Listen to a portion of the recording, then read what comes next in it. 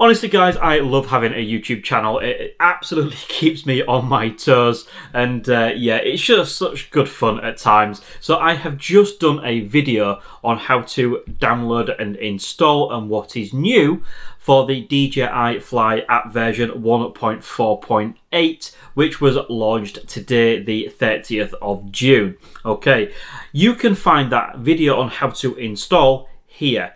Now, if you are an early adopter, it seems that DJI have actually, in the space of time it took me to record that video and download that version earlier to now, they have actually revised and put out a new version.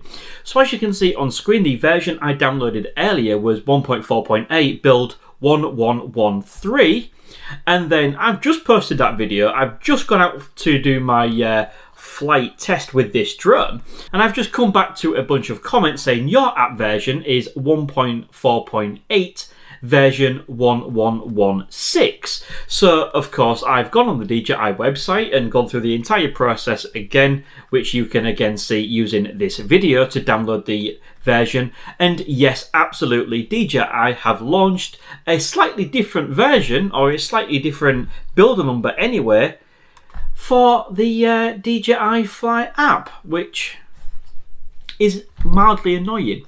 So what that means is any of you that was an early adopter of this new app version, version 1.4.8, and you've got the version 1113, effectively what you need to do is go through the whole process again to make sure you have the latest version. And it also means, as I've just mentioned, that all the flying I've just done with the Mini 2 testing out the app version is utterly pointless and I need to head back out and go do it all over again.